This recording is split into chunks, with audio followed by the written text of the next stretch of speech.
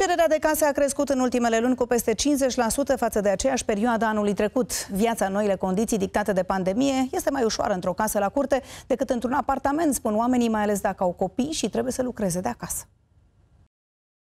Criza provocată de înmulțirea îmbolnăvirilor de COVID, dar și teama că am putea intra într-o nouă stare de urgență, i-au determinat pe români să se mute de la bloc la casă. Este un duplex uh, foarte frumos, uh, ultra finisat și mobilat, are și o uh, piscină Infinity. Suprafața construită, mărimea terenului, locul și prețul fac diferența. Cele mai multe cereri se înregistrează în marile orașe. Iată ce spune un agent din Cluj. În loc să dea 100.000 pe un apartament uh, în Cluj, uh, au zis că mai bine dau 100.000 pe o casă lângă Cluj. În starea de urgență și acum este o diferență de 150% cerere. Tot pentru spațiu mai mare, acești oameni din Brașov au renunțat la apartamente și s-au mutat la marginea orașului. În vedere că sunt o mamă, am un copil, îmi doresc să petreacă timp în natură, lucru care nu mai este posibil la fel ca înainte.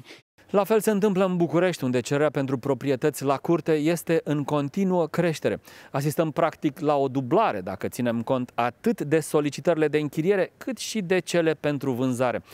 Oamenii se tem de perioada care urmează și vor să aibă o grădină în care să se relaxeze dacă intrăm din nou în stare de urgență. Cererea de case a crescut cu aproximativ 125% în lunile ulterioare stării de urgență, respectiv iunie-septembrie 2020, față de perioada ianuarie-martie 2020. Procentul cumulează atât vânzarea cât și închirierea, iar în ceea ce privește acest ultim trimestru, procentul este deja cu 54,3% mai mare acum decât în trimestrul 3 al anului trecut. Oamenii își vor dori să, să achiziționeze o casă și să fie uh, să aibă posibilitatea de a avea o curte în eventualitatea unui viitor lockdown.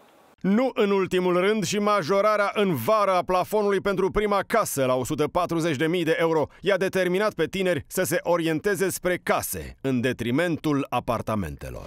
Urmărește cele mai tari show-uri integral pe ProTV+.